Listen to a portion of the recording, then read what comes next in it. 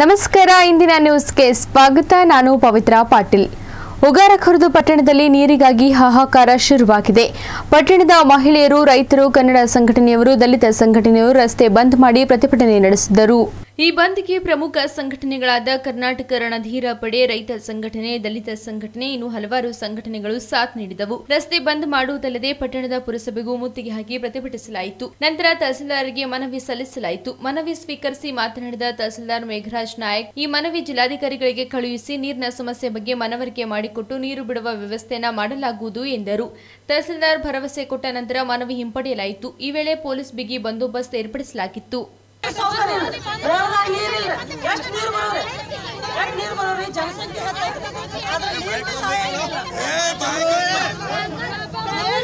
ಅದನ್ನ ವಿಚಾರ ಮಾಡಬೇಕು ನೀರು ಹೋರಾಟ ಸರ್ ಇದು ಎಷ್ಟು ಆಗಿತ್ತು ಬೇಗ ಕೆಲಸ ಆ ಕೆಲಸ ನಾವು ಇಲ್ಲಿ ಸರಂಗೇ ಇಲ್ರಿ. ಇಲ್ಲಿ ನಾವು ರೋಡ್ ಮೇಲೆ ಕುಂತೀವ್ರಿ. ಏನಾದ ಹಾಕತ್ರಿ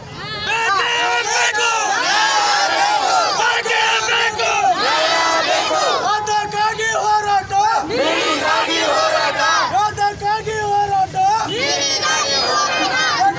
ಬೇಕು. ಮಂಡ್ಯ ಜಿಲ್ಲೆಯ ಕನ್ನಡ ಸಾಹಿತ್ಯ ಪರಿಷತ್ತಿನ ನೂರ ಐದನೇ ಸಂಸ್ಥಾಪನಾ ದಿನಾಚರಣೆ ಕನ್ನಡದ ಪರಿಚಾರಕರ ಕೆಜಿ ನಾಗರಾಜ್ ಅವರಿಗೆ ಹೃದಯ ಸ್ಪರ್ಶಿ ಸನ್ಮಾನ ಮಾಡಲಾಯಿತು.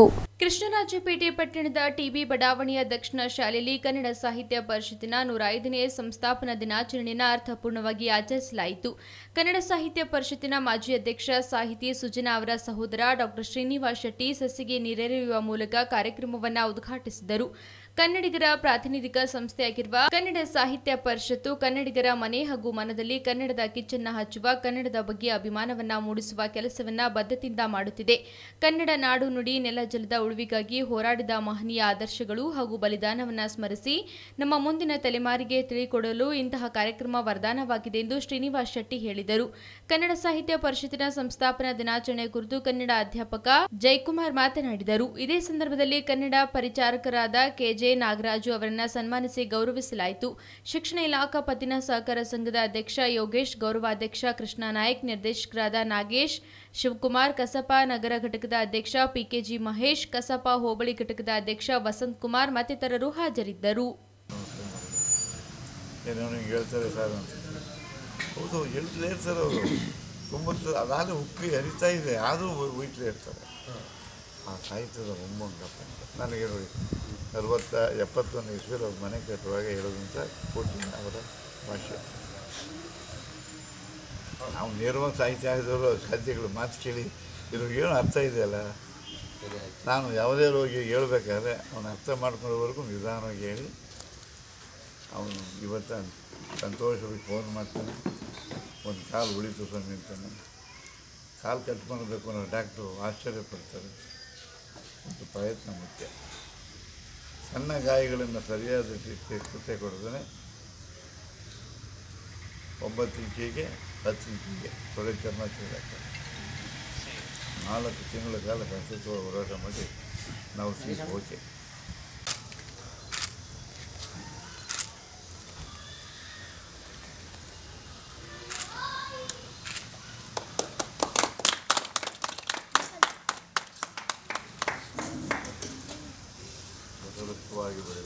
ಬೆಳಗಾವಿ ಜಿಲ್ಲೆಯ ಅಥಣಿ ಸಾರ್ವಜನಿಕ ಆಸ್ಪತ್ರೆ ಅಧಿಕಾರಿಗಳು ನಿರ್ಲಕ್ಷ್ಯ ತೋರುತ್ತಿದ್ದಾರೆ. ಬೆಳಗಾವಿ ಜಿಲ್ಲೆಯ ಅಥಣಿ ಸಾರ್ವಜನಿಕ ಆಸ್ಪತ್ರೆಯ ಅಧಿಕಾರಿಗಳು, ಸಿಬ್ಬಂದಿಗಳು, ಮೆಡಿಕಲ್ ಅಧಿಕಾರಿಗಳು, ರೋಗಿಗಳ ಮಹಿಳೆಯರೇ ಸರಿಯಾಗಿ ಮಹಿಳೆಯರಿಗೆ ಅಸಭ್ಯ ವರ್ತನೆ ಮಾಡುತ್ತಿದ್ದಾರೆ. ಸರಿಯಾಗಿ ಮಾಹಿತಿ ಕೊಡಲ್ಲ ಸಾರ್ವಜನಿಕ ರೋಗಿಗಳ, ಡಾಕ್ಟರ್ ಸಿಬ್ಬಂದಿಗಳು, ಮೆಡಿಕಲ್ ಅಧಿಕಾರಿಗಳು, ರೋಗಿಗಳ ದೇವರೆಂದು ತಿಳಿದುಕೊಂಡು ಬರ್ತಾರೆ. ಇಲ್ಲಿಗೆ ಆದರೆ ಇವರು ರಾಕ್ಷಸರಂತೆ ವರ್ತಿಸುತ್ತಾರೆ. ನೀರಿಗಾಗಿ ಪರದಾಟ ಹಾಗೂ ಬಾತ್ರೂಮ್ನಲ್ಲಿ ಮತ್ತು ಟಾಯ್ಲೆಟ್ನಲ್ಲಿ ನೀರಿಗಾಗಿ ರೋಗಿಗಳ ಪರದಾಟ, ಸಾರ್ವಜನಿಕರು ನೀರಿಗಾಗಿ ಹಾಹಾಕಾರ, ನೀರಿಗೆ ಮುಗಿಲು ಮುಟ್ಟಿದೆ. ಅದೇ ರೀತಿ ಸಾರ್ವಜನಿಕ ಆಸ್ಪತ್ರೆಯಲ್ಲಿ ಕೂಡ ನೀರಿಗಾಗಿ ರೋಗಿಗಳು ಬರುವುದು ಇದೇ ರೀತಿ ಮುಂದುವರೆದರೆ ಸಾರ್ವಜನಿಕ ಆಸ್ಪತ್ರೆ ರೋಗಿಗಳ ಸ್ಥಿತಿ ಉಂಟಾಗುತ್ತದೆ. ರೋಗಿಗಳು ಎಲ್ಲಿಗೆ ಹೋಗಬೇಕು ಸರ್ಕಾರದಿಂದ ಕೇಂದ್ರ ಸರ್ಕಾರದವರೆಗೆ ಸಾಕಷ್ಟು ಸಾರ್ವಜನಿಕರು ತಲುಪುವುದಿಲ್ಲ. ಸಾರ್ವಜನಿಕರಿಗೆ ಮಾಹಿತಿ ಕೊಡುವುದಿಲ್ಲ. ಮೆಡಿಕಲ್ನಲ್ಲಿ ಗುಳಿಗೆ ಕೂಡ ಕೊಡುವುದಿಲ್ಲ. ರೋಗಿಗಳ ಕೂಗು ಸಾರ್ವಜನಿಕರು ಕೇಳುವುದಿಲ್ಲ. ಅಧಿಕಾರಿಗಳು, ವೈದ್ಯಾಧಿಕಾರಿಗಳು, ಮೆಡಿಕಲ್ ಅಧಿಕಾರಿಗಳು ಇವರಿಗೆ ಏನು ಹೇಳಲು ಕೋದ್ರೆ ಸರಿಯಾಗಿ ಮಾಹಿತಿ ಕೊಡಲ್ಲ. ಸಂಬಂಧಪಟ್ಟ ಅಧಿಕಾರಿಗಳು ಕಾಣುವುದಿಲ್ಲ. ಸರಿಯಾಗಿ ರೋಗಿಗಳಿಗೆ ಮಾಹಿತಿ ಕೊಡುವುದಿಲ್ಲ. ರೋಗಿಗಳಿಗೆ ಸರಿಯಾಗಿ ಚಿಕಿತ್ಸೆ ಕೊಡಲ್ಲ. ಔಷಧಿಗಳನ್ನ ಸರಿಯಾಗಿ ಕೊಡಲ್ಲ, ಸರಿಯಾದ ಮಾಹಿತಿ ಕೂಡ ಕೊಡಲ್ಲ. ಸಾರ್ವಜನಿಕ ಆಸ್ಪತ್ರೆಯಲ್ಲಿ ಯಾರದು ನೀವೇ ಹೇಳಿ, ವೈದ್ಯಾಧಿಕಾರಿ ಆಸ್ಪತ್ರೆಯ ಸಿಬ್ಬಂದಿಗಳಾದ ಮೆಡಿಕಲ್ ಅಧಿಕಾರಿಗಳು ಔಷಧಿಗಳ ವಿತರಣೆ ಮಾಡುವವರು ನೀವೇ ಹೇಳಿ, ಯಾವಾಗ ಸಿಗುತ್ತೆ, ಸಂಬಂಧಪಟ್ಟ ಅಧಿಕಾರಿಗಳು ಯಾವ ರೀತಿ ಕ್ರಮ ಕೈಗೊಳ್ಳುತ್ತಾರೋ ಕಾದು ನೋಡಬೇಕಾಗಿದೆ. ಇನ್ನಾದರೂ ಸೂಕ್ತ ಕ್ರಮ ತೆಗೆದುಕೊಳ್ಳುತ್ತಾರೋ ನೋಡಬೇಕು. ಡಾಕ್ಟರ್ ಅಂದ್ರೆ ಡಾಕ್ಟರ್ ಎಲ್ಲಿದಾನ ಅನ್ನೋದು ನಮ್ಗೆ ಗುರ್ತಾಗುತ್ತೆ. ಡಾಕ್ಟರ್ ಯಾವ, ಅಲ್ಲಿ ಪ್ಯೂನ್ಗಳು ಯಾರು ನಮ್ಗೆ ಗುರ್ತಾಗುತ್ತೆ. ಇನ್ನೊಂದು ಹೇಳ್ಬೇಕಂದ್ರೆ ಮೆಡಿಕಲ್ ಸ್ಟೋರಿಗೆ ಹೋದ್ರೂ ಕೂಡ ಮೆಡಿಕಲ್ ಸ್ಟೋರಿಗೆ ಹಿರಿಯರಿಗೆ ಮತ್ತು ಮಹಿಳೆಯರಿಗೆ ಅವಾಚ್ಯ ಶಬ್ದಗಳಿಂದ ಮಾತಾಡ್ತಾರೆ. ಟ್ಯಾಬ್ಲೆಟ್ಗೆ ಸರಿಯಾಗಿ ಮಾಹಿತಿ ಕೊಡಂಗಿಲ್ಲ ಏನು ಇವ್ರ ಮನ್ಯಾಗ ಕೊಡ್ತಾರೆ ಇವ್ರ? ಟ್ಯಾಬ್ಲೆಟಾ ಸರ್ ಸರ್ಕಾರ ದವಾಖಾನೆಯಲ್ಲಿ ಸೌಲಭ್ಯಗಳು ಸಿಗ್ತಾ ಇಲ್ಲ ಅಂತ ವಯಸ್ಸರು ಹೋದ್ರ ಸರಿಯಾಗಿ ಮಾಹಿತಿ ಕೊಡಲ್ಲ ಅಂತ್ರಿ ಈಗ ಅಷ್ಟ ಅಲ್ರಿ ಸುಮಾರು ಮೂರಿಂದ ನಾಲ್ಕು ತಿಂಗಳಾಯ್ತು. ಅಲ್ಲಿ ಯಾವುದೇ ರೀತಿ ಸೌಲಭ್ಯ ಇಲ್ಲ. ಅಲ್ಲಿ ಮೊದಲೇ ಮಾತು ಹೇಳ್ಬೇಕಾದ್ರೆ ಡಾಕ್ಟರ್ ಕೊರತೆ ಇನ್ನೊಂದು ಹೇಳ್ಬೇಕಾದ್ರೆ ಅಲ್ಲಿ ಸಿಬ್ಬಂದಿಗಳು ತಾವ ಡಾಕ್ಟರ್ ತಾವ ಎಂ ಎಲ್ ಎ ತಾವ ಎಂ ಪಿ ಗತೆ ಮಾಡ್ತಾರೆ. ಯಾಕಂದ್ರ ಅವ್ರನ್ನೇನೋ ಕೇಳಕ್ ಹೋದ್ರು ಗೌರ್ಮೆಂಟಿಗೆ ಸೌಲಭ್ಯ ಕೊಟ್ಟಿದ್ದ ಇಂಜೆಕ್ಷನ್ ಟ್ಯಾಬ್ಲೆಟ್ಸು ಎಲ್ಲಿ ಹೋಗುತ್ತೆ? ಸರಿಯಾಗಿ ಟ್ರೀಟ್ಮೆಂಟ್ ಇಲ್ಲ, ರೋಗಿಗಳು ಪರದಾಡ್ತಿದ್ದಾರೆ. ಅದಕ್ಕೆ ಮೇಲಾಧಿಕಾರಿಗಳು ಸರಿಯಾಗಿ ಕ್ರಮವನ್ನು ತಗೋಬೇಕು. ಬಸ್ ಸಿಬ್ಬಂದಿಗಳು ಕೊರತೆ ಇದ್ದಾರೆ ಖರೆ ಹೇಳ್ಬೇಕಂತಂದ್ರೆ, ಅಲ್ಲಿ ಪೇಷಂಟ್ಗಳಿಗೆ ಸರಿಯಾಗಿ ಟ್ರೀಟ್ಮೆಂಟ್ ಇಲ್ಲ. ಆದ್ರೆ ಅಲ್ಲಿ ಬಡ ಜನರ ಯಾವುದೇ ರೀತಿ ಬಡ ವ್ಯಕ್ತಿಗೆ ಹಾಸ್ಪಿಟ್ಲಿಗೆ ತೋರಿಸ್ಲಿಕ್ಕೆ ಬಂದ್ರೆ ಅಲ್ಲಿ ಡಾಕ್ಟ್ರುಗಳು ಅಲ್ಲಿ ನರ್ಸ್ಗಳು ಸರಿಯಾಗಿ ಚಿಕಿತ್ಸೆ ಕೊಡಲ್ಲ. ಅಪಾಯಿಂಟ್ಮೆಂಟ್ ಹಾಂ ಬಡ್ರ ಮಂದಿ ಕೊಡಲ್ದ ಇನ್ನು ಮತ್ತೆ ಯಾರು ಕೊಡ್ಬೇಕು? ಇನ್ನೊಂದು ನಮಗೆ ಬಂದಿದ್ದ ಮಾಹಿತಿ ಪ್ರಕಾರ ಅಲ್ಲಿ ಟ್ಯಾಬ್ಲೆಟ್ಗಳು ಏನು ಹೊರಗಡೆ ಮಾರ್ಕೋತಾರ ಅಂತ ಬಂದೈತಿ. ಇದೇ ರೀತಿ ಮುಂದೆ ಆದ್ರೆ ನಾವು ಸರ್ಕಾರಿ ದವಾಖಾನೆ ಕೀಲಿ ಹಾಕ್ಸ್ತೀವಿ. ನಾನು ಎಂ ಎಂ ಪಿ ಪೇಷಂಟ್ ಕಡೆ ಡಾಕ್ಟರ್ಸ್ಗಳು ಅಮೌಂಟ್ ತೊಗೊಂಡು ಅವ್ರು ಚೆಕ್ ಮಾಡ್ತಾರೆ. ಆಮೇಲೆ ಈಗ ವಯಸ್ಕರಂತ, ವಯಸ್ಸಾದ ಮನುಷ್ಯರು ಬಂದರು ಅವರಿಗೂ ಯಾವುದೇ ರೀತಿ ಸ್ಪಂದನೆ ಕೊಡಲ್ಲ. ಪ್ರತಿ ಮೆಡಿಕಲ್ ಸ್ಟೋರಿಗೆ ಹೋದರೂ ಅಲ್ಲಿ ಏನು ಸರಿಯಾಗಿ ಮಾಹಿತಿ ಕೊಡಂಗಿಲ್ಲ. ಹೌದು ಅದು ಮೆಡಿಕಲ್ ಸ್ಟೋರಿಗೆ ಹೋದರೆ ಟ್ಯಾಬ್ಲೆಟ್ಸ್ ಕೊಡ್ಬೇಕಾದ್ರೂ ಸರಿಯಾಗಿ. ಟ್ಯಾಬ್ಲೆಟ್ ಕೊಡಲ್ಲ. ಆಮೇಲೆ ಕೇರ್ಲೆಸ್ ಮಾಡ್ತಾರೆ. ರಾಮನಗರದ ಹತ್ತಿರ ಬೈಕ್ ಅಪಘಾತವಾಗಿ ವ್ಯಕ್ತಿಯೋರ್ವ ಮೃತಪಟ್ಟ ಘಟನೆ ನಡೆದಿದೆ. ಮಂಡ್ಯ ಜಿಲ್ಲೆಯ ಮಂಡ್ಯ ತಾಲೂಕು ಬಸರಾಳು ಹೋಬಳಿ ಪಟ್ಟಣದ ಗ್ರಾಮದ ಸಿದ್ದೇಗೌಡ ಕೊಪ್ಪಲು ಗ್ರಾಮದ ವಾಸಿಯಾಗಿದ್ದ ನಾಗರಾಜ್ ಎಂಬುವರು ನಿನ್ನೆ ದಿವಸ ರಾಮನಗರ ಹತ್ತಿರ ಬೈಕ್ನಲ್ಲಿ ಹೋಗುತ್ತಿದ್ದ ವೇಳೆ ರಾತ್ರಿ ಎಂಟು ಗಂಟೆಯ ಸಮಯದಲ್ಲಿ ಆಕ್ಸಿಡೆಂಟ್ನಲ್ಲಿ ಕೊನೆಯುಸಿರೆದಿದ್ದಾರೆ ಅವರು ಬೆಂಗಳೂರು ನಗರದ ಕಮಲ್ ನಗರದಲ್ಲಿ ನೆಲೆಸಿದ್ದರು. ಹದಿನೈದು ದಿವಸದ ಹಿಂದೆ ಮಂಡ್ಯ ಜಿಲ್ಲೆಯ ಬಸರಾಳು ಹೋಬಳಿ ಗ್ರಾಮ ಸಿದ್ದೇಗೌಡ ಕೊಪ್ಪಲ್ನಲ್ಲಿ ಸಹೋದರನ ಮಗಳ ಮದುವೆಯಲ್ಲಿ ಅವರು ಸಿದ್ದೇಗೌಡನ ಕೊಪ್ಪಲಿಗೆ ನೆಲೆಸಿದ್ದರು. ಅದಾದ ನಂತರ ತನ್ನ ಸಹೋದರ podrá ಕರಿಗಿರಿ ಎಂಬೂರಿಗೆ ಬೈಕ್ ಆಕ್ಸಿಡೆಂಟ್ನಲ್ಲಿ ಕರಿಗಿರಿ ಎಂಬುವರ ಕಾಲು ಕೂಡ ಮುರಿದು ಹೋಗಿದೆ. ಅವರು ಮಂಡ್ಯದ ಕೆಸಿ ಜನರಲ್ ಹಾಸ್ಪಿಟಲ್ನಲ್ಲಿ ಚಿಕಿತ್ಸೆ ಪಡೆಯುತ್ತಿದ್ದಾರೆ. ಆದ್ದರಿಂದ ಅವರು ಕೂಡ ತನ್ನ ಸಹೋದರನ ನೆರವಿಗೆ ನಿಂತಿದ್ದರು. ಆದ ಕಾರಣ ಬೆಂಗಳೂರಿನ ಬಾರ್ ಒಂದರಲ್ಲಿ ನಾಗರಾಜ್ ಎಂಬುವರು ಕ್ಯಾಶಿಯರ್ ಆಗಿ ಕೆಲಸ ಮಾಡುತ್ತಿದ್ದರು. ರಾತ್ರಿ ಬೈಕ್ನಲ್ಲಿ ಮಂಡ್ಯದಿಂದ ಬೆಂಗಳೂರಿಗೆ ಹೊರಟಿದ್ದರು. ಆ ಸಮಯದಲ್ಲಿ ಪ್ರಜ್ಞೆ ತಪ್ಪಿ ನಾಗರಾಜ್ ಎಂಬುವರು ಹೋಗುತ್ತಿದ್ದಾಗ ರೋಡಿನ ಮುಂಬದಿಗೆ ಬೈಕ್ ಗುದ್ದಿ ಅಲ್ಲಿಯೇ ಪ್ರಜ್ಞೆ ತಪ್ಪಿದ್ದಾರೆ. ರೋಡಿನಲ್ಲಿ ಹೋಗುತ್ತಿದ್ದವರು ರಾಮನಗರ ಗ್ರಾಮಾಂತರ ಪೊಲೀಸ್ ಸ್ಟೇಷನ್ಗೆ ವಿಷಯ ತಿಳಿಸಿ ನಂತರ ಬೆಂಗಳೂರು ರಾಜರಾಜೇಶ್ವರಿ ಹಾಸ್ಪಿಟಲ್ಗೆ ಸೇರಿಸಿದ್ದಾರೆ. ಅಲ್ಲಿಯೇ ಕೊನೆಸಿರೆದಿದ್ದಾರೆ ಬೆಳಗಾವಿ ಜಿಲ್ಲೆಯ ಅಥಣಿ ತಾಲೂಕಿನ ಸರ್ಕಾರಿ ಪ್ರೌಢಶಾಲೆ ಚಿಕ್ಕೋಡಿ ಗ್ರಾಮದಲ್ಲಿ ಎಸ್ಎಸ್ಎಲ್ಸಿ ಪರೀಕ್ಷೆಯಲ್ಲಿ ಅತ್ಯುನ್ನತ ಅಂಕ ಪಡೆದು ಕೀರ್ತಿ ತಂದ ವಿದ್ಯಾರ್ಥಿಗೆ ಸನ್ಮಾನಿಸಲಾಯಿತು.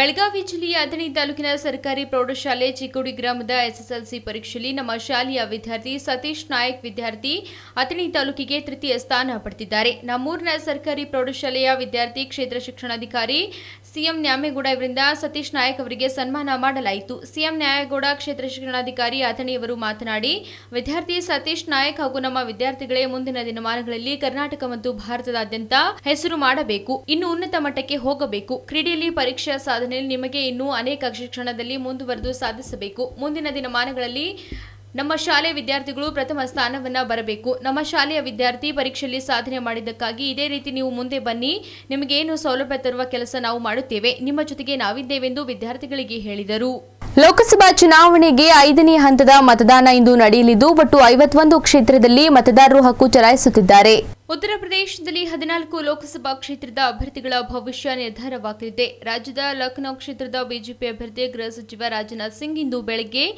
ಸ್ಕಾಲರ್ಸ್ ಹೋಮ್ ಹೈಸ್ಕೂಲ್ನ ಮತಗಟ್ಟೆ ಸಂಖ್ಯೆ ಮುನ್ನೂರ ಮೂವತ್ಮೂರಕ್ಕೆ ತೆರಳಿ ಮತ ಚಲಾಯಿಸಿದರು ಬಳಿಕ ಸುದ್ದಿಗಾರರೊಂದಿಗೆ ಮಾತನಾಡಿದ ಅವರು, ಐದನೇ ಹಂತದ ಮತದಾನದಲ್ಲಿ ಮತದಾರರು ಅತಿ ಹೆಚ್ಚಿನ ಸಂಖ್ಯೆಯಲ್ಲಿ ಹಕ್ಕು ಚಲಾಯಿಸಬೇಕೆಂದು ಮನವಿ ಮಾಡಿದರು.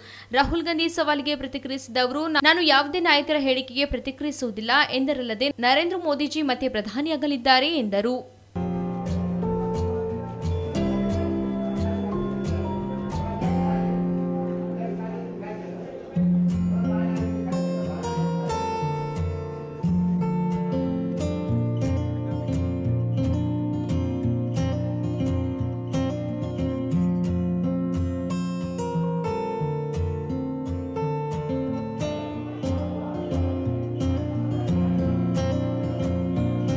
ಮಧುಬಾನಿ ಕ್ಷೇತ್ರದಿಂದ ಸ್ಪರ್ಧಿಸಿರುವ ಕಾಂಗ್ರೆಸ್ ಬಂಡಾಯ ಅಭ್ಯರ್ಥಿ ಶಕೀಲ್ ಅಹಮದ್ ಸಸ್ಪೆಂಡ್. ಬಿಹಾರದ ಮಧುಬಾನಿ ಲೋಕಸಭಾ ಕ್ಷೇತ್ರದಿಂದ ಪಕ್ಷದ ನಿರ್ಧಾರದ ವಿರುದ್ಧ ಸ್ವತಂತ್ರ ಅಭ್ಯರ್ಥಿಯಾಗಿ ಸ್ಪರ್ಧಿಸಿರುವ ತನ್ನ ಬಂಡಾಯ ಅಭ್ಯರ್ಥಿ ಶಕೀಲ್ ಅಹಮದ್ ಅವರನ್ನ ಕಾಂಗ್ರೆಸ್ ಪಕ್ಷದಿಂದ ಅಮಾನತುಗೊಳಿಸಿದೆ. ಮಧುಬಾನಿ ಕ್ಷೇತ್ರವನ್ನು ಪ್ರತಿನಿಧಿಸಿದ ಮಾಜಿ ಕೇಂದ್ರ ಸಚಿವ ಶಕೀಲ್ ಅಹಮದ್ ಅವರು ಕಾಂಗ್ರೆಸ್ ಅಭ್ಯರ್ಥಿಯಾಗಿ ಮತ್ತು ಸ್ವತಂತ್ರ ಅಭ್ಯರ್ಥಿಯಾಗಿ ಎರಡು ಸೆಟ್ ನಾಮಪತ್ರ ಸಲ್ಲಿಸಿದ್ದಾರೆ. ಇವರೊಂದಿಗೆ ಬಿಹಾರದ ಬೇನಿಪಟ್ಟಿ ಪಟ್ಟಣದ ಶಾಸಕ ಭವನ್ ಝಾ ಅವರನ್ನ ಸಹ ಪಕ್ಷ ವಿರೋಧಿ ಚಟುವಟಿಕೆಗಳಾಗಿ ಕಾಂಗ್ರೆಸ್ನಿಂದ ಅಮಾನತುಗೊಳಿಸಲಾಗಿದೆ ಎಂದು ಪಕ್ಷದ ಹೇಳಿಕೆ ತಿಳಿಸಿದೆ.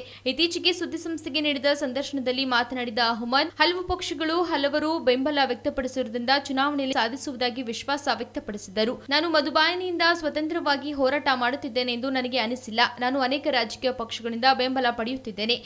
ಮಧುಬಾನಿಯಲ್ಲಿ ಉತ್ತಮ ಮತಗಳ ಅಂತರದಿಂದ ಗೆಲ್ಲುತ್ತೇನೆಂಬ ವಿಶ್ವಾಸವಿದೆ ಎಂದು ಹೇಳಿದರು. ಹೊತ್ತಿಯುರಿದ ರಷ್ಯಾ ವಿಮಾನ, ನಲವತ್ತೊಂದು ಪ್ರಯಾಣಿಕರ ದುರ್ಮರಣ. ರಷ್ಯಾದ ಏರೋಪ್ಲೇಟ್ ಪ್ಯಾಸೆಂಜರ್ಸ್ ವಿಮಾನ ತುರ್ತು ಭೂಸ್ಪರ್ಶ ಮಾಡಿದ ಪರಿಣಾಮ ವಿಮಾನಕ್ಕೆ ಬೆಂಕಿ ಹೊತ್ತಿಕೊಂಡು ನಲವತ್ತೊಂದು ಮಂದಿ ಸಾವನ್ನಪ್ಪಿರುವ ದಾರುಣ ಘಟನೆ ಭಾನುವಾರ ನಡೆದಿದೆ. ರಷ್ಯಾ ನಿರ್ಮಿತ ಸುಖೋಯ್ ಸೂಪರ್ ಜೆಟ್ ಹಂಡ್ರೆಡ್ ವಿಮಾನ ಶೇರಮೆತ್ಯವು ನಿಲ್ದಾಣದಿಂದ ಮೊರ್ಮುನ್ಸ್ ನಗರಕ್ಕೆ ಹೊರಟಿತ್ತು. ಆದರೆ ವಿಮಾನ ಟೇಕ್ ಆಫ್ ಆದ ಕೆಲವೇ ನಿಮಿಷಗಳಲ್ಲಿ ತಾಂತ್ರಿಕ ದೋಷದಿಂದ ಮಾಸ್ಕೋದ್ ಬುಸಿಸ್ಟ್ ವಿಮಾನ ನಿಲ್ದಾಣದಲ್ಲಿ ತುರ್ತು ಭೂಸ್ಪರ್ಶ ಮಾಡಲು ಯತ್ನಿಸಿದಾಗ ಬೆಂಕಿ ಅವಘಡ ಸಂಭವಿಸಿದೆ. ವಿಮಾನ ಲ್ಯಾಂಡ್ ಬೆಂಕಿ ಹೊತ್ತಿಕೊಂಡ ಪರಿಣಾಮ ಕೂಡಲೇ ತುರ್ತು ನಿರ್ಗಮನ ದ್ವಾರದ ಮೂಲಕ ಪ್ರಯಾಣಿಕರು ಜೀವ ಉಳಿಸಿಕೊಳ್ಳಲು ಹೊರಬರುತ್ತಿರುವ ವಿಡಿಯೋ ಸಿದ್ದ ಎಲ್ಲೆಡೆ ಹರಿದಾಡ್ತಿದೆ. ವಿಮಾನದಲ್ಲಿ ಸುಮಾರು ಎಪ್ಪತ್ಮೂರು ಪ್ರಯಾಣಿಕರಿದ್ದರು ಎನ್ನಲಾಗಿದೆ. ತುರ್ತು ನಿರ್ಗಮನದ ಮೂಲಕ ಮೂವತ್ತೇಳು ಪ್ರಯಾಣಿಕರು ಹೊರಜಿಗಿದ್ದಾರೆ ಆದರೆ ನಲವತ್ತೊಂದು ಮಂದಿ ತಪ್ಪಿಸಿಕೊಳ್ಳಲಾಗದೆ ಬೆಂಕಿಗೆ ಆಹುತಿಯಾದರೆಂದು ರಷ್ಯಾದ ತನಿಖಾ ಸಂಸ್ಥೆಯ ವಕ್ತಾರ ಸ್ವೆಟ್ಲಾನಾ ಪೆಂಟ್ರೊಂಕೋ ತಿಳಿಸಿದ್ದಾರೆ. ವಿನಾಶಕಾಲೆ ವಿಪರೀತ ಬುದ್ಧಿ ಎಂಬಂತೆ ಪ್ರಧಾನಿ ನರೇಂದ್ರ ಮೋದಿಯವರು ಮಾನಸಿಕ ಸ್ಥಿಮಿತ ಕಳೆದುಕೊಂಡವರಂತೆ ಮಾತನಾಡುತ್ತಿದ್ದಾರೆಂದು ಮಾಜಿ ಸಿಎಂ ಸಿದ್ದರಾಮಯ್ಯ ಕಿಡಿಕಾರಿದ್ದಾರೆ. ಮಾಜಿ ಪ್ರಧಾನಿ ರಾಜೀವ್ ಗಾಂಧಿ ನಂಬರ್ ಒನ್ ಭ್ರಷ್ಟಾಚಾರಿಯಾಗಿಯೇ ಜೀವನ ಅಂತ್ಯಗೊಳಿಸಿದೆನೆಂದು ಪ್ರಧಾನಿ ನರೇಂದ್ರ ಮೋದಿ ಹೇಳಿಕೆಗೆ ಅತ್ಯಂತ ತೀಕ್ಷ್ಣವಾಗಿ ಟ್ವಿಟರ್ನಲ್ಲಿ ಪ್ರತಿಕ್ರಿಯಿಸಿರುವ ಸಿದ್ದರಾಮಯ್ಯ, ತಾಯಿಯಂತೆ ಉಗ್ರರಿಗೆ ಬಲಿಯಾದ ರಾಜೀವ್ ಜಿ ಬಗ್ಗೆ ನೀಚಿತನದ ಮಾತನಾಡುತ್ತಿರುವ ನರೇಂದ್ರ ಮೋದಿ ಮಾನಸಿಕ ಸ್ಥಿಮಿತ ಕಳೆದುಕೊಂಡಿದ್ದಾರೆಂದು ತಿರುಗೇಟು ನೀಡಿದ್ದಾರೆ. ಮೋದಿಯವರ ಚಿಕಿತ್ಸೆಗೆ ಬೇಕಾದ ವಿಶ್ರಾಂತಿನ ದೇಶದ ಮತದಾರರು ಈ ಬಾರಿ ನೀಡಿದ್ದಾರೆ ಅವರ ಈ ಕಾಯಿಲೆಯಿಂದ ಶೀಘ್ರ ಗುಣಮುಖರಾಗಲೆಂದು ಸಿದ್ದರಾಮಯ್ಯ ವ್ಯಂಗ್ಯವಾಡಿದ್ದಾರೆ. ಹಿರಿಯಣ್ಣಿನ ಚಾಳಿ ಮನೆ ಮಂದಿಗಿಲ್ಲ ಎಂಬಂತೆ ಸೋಲಿನ ಭೀತಿಯಲ್ಲಿರುವ ನರೇಂದ್ರ ಮೋದಿ ಅವರು ಹಿಡಿದು ಕೆಎಸ್ ಈಶ್ವರಪ್ಪನವರಿಗೆ ಎಲ್ಲರ ನಾಲಿಗೆಯಲ್ಲಿ ಹತಾಶೆ ಕಾಣಿಸಿದೆ. ಸಾರ್ವಜನಿಕರ ಹಿತದೃಷ್ಟಿಯಿಂದ ಬಿಜೆಪಿ ನಾಯಕರೆಲ್ಲ ಮೈ ಚೌಕಿದಾರಲ್ಲ, ಮೈ ಪಾಗಲ್ ಎಂದು ಘೋಷಿಸಿಕೊಳ್ಳುವುದು ಒಳ್ಳೆಯದು ಎಂದು ಸಿದ್ದರಾಮಯ್ಯ ಕುಟುಕಿದರು.